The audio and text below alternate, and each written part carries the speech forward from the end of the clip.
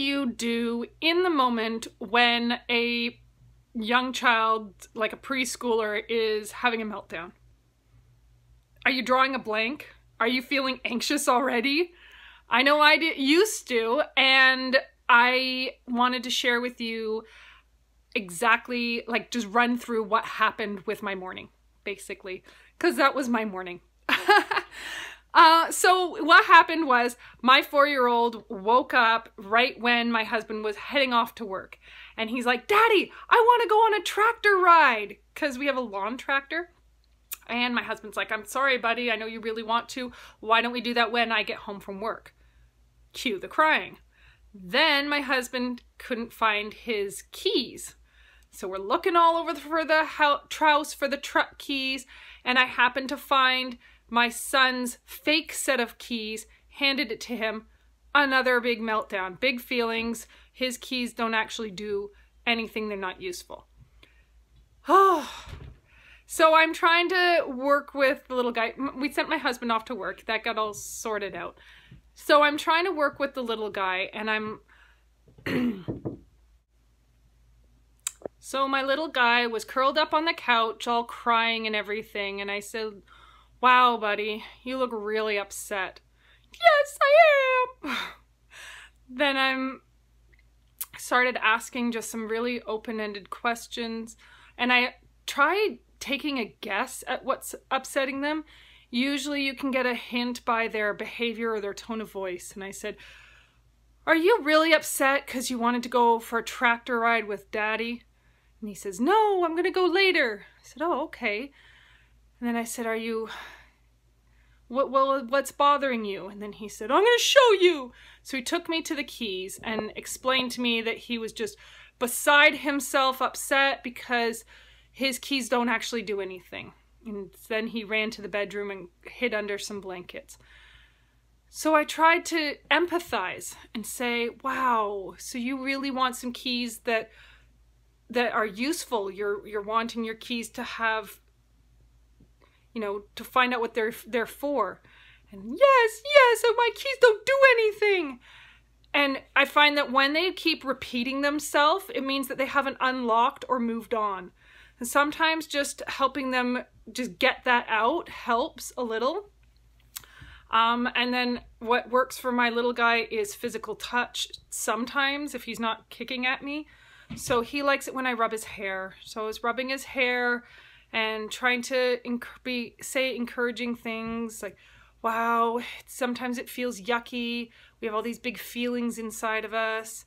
And and he just kept going on about the keys. And then I noticed there's some gum stuck in his hair.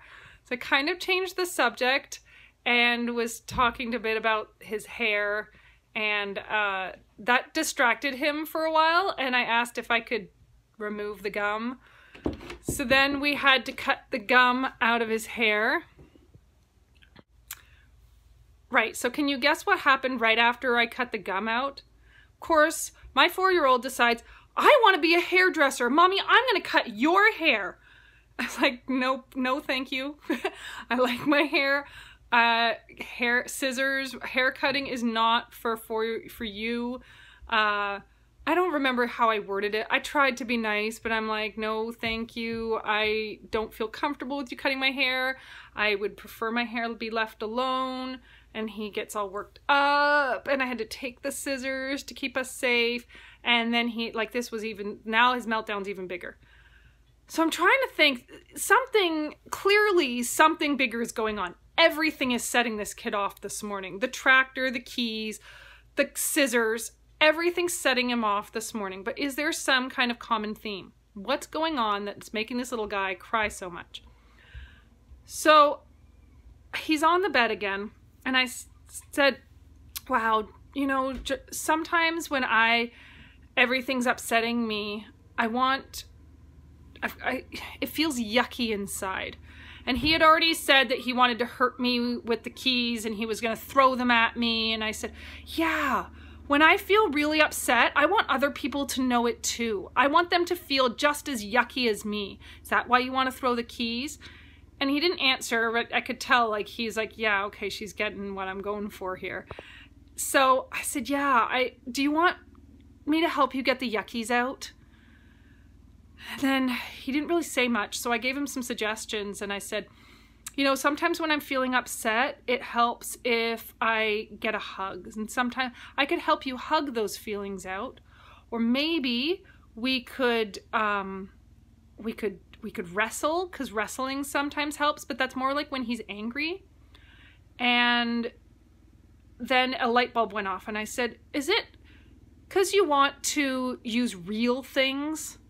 Yes, you guys never let me do. Oh, I know why. He said, "You guys never let me do anything." And like, yeah, everything was a no this morning. No to the tractor, no to the keys that were useless, no to the scissors. I said, "Wow." So you like you know, I noticed you're growing up. You're not a little kid anymore. You're not a little guy. You're starting to be a bigger boy and you're you don't want to have like little play keys that don't do anything and you want to do real big jobs. Yes. And so I, you know, I'm like okay, thinking in my head, okay, what is a big job I can actually get him to do? I said, wow, you know, I've got some, what if we find a big thing that you could actually do. And he, he stopped crying instantly. And I said, You know, you're really good at baking. I could totally, you could make cookies. They could be your own invention, and we could eat your cookies, and I'll let you play with the ingredients. Or maybe do you want to work on the obstacle course that you were inventing yesterday? And we could, you could be in charge, and I'll just be your assistant. And I think I gave him another example. And he's like, oh, and and I could work on my obstacle course. And I love the way he tries to say. He cannot say obstacles, so it's like an obstacle course. And and and we can but no dangerous sharp bits. And I said, "Yes." And he said, "Yeah, like I want to use real tools, but nothing sharp and nothing dangerous and nothing sparks." And I said, Okay, so you want to start using real tools. You want to do some big helpful things. Yes. And then he got all excited and he was planning out his obstacle course and he jumped out of bed. And so the bottom line is you got to be a detective uh, to try and find out what's really going on behind their big feelings. And also, a lot of the time, especially as children grow and they realize that they're not little anymore, uh, probably around the four to five, six year old thing is going to be a big change. Around the eight to 10 is another big change. And so my my point is that they want to be capable they want to actually have real tools, do real things, and not just be brushed off as little babies all the time. So right now, my little guy is out on the tractor with his big brother, and we are going to go work on his obstacle course, and I'm trying to include him in as much as I can and make it sound like I really need his help. So when I was baking bread this morning, I needed him to do all the measuring.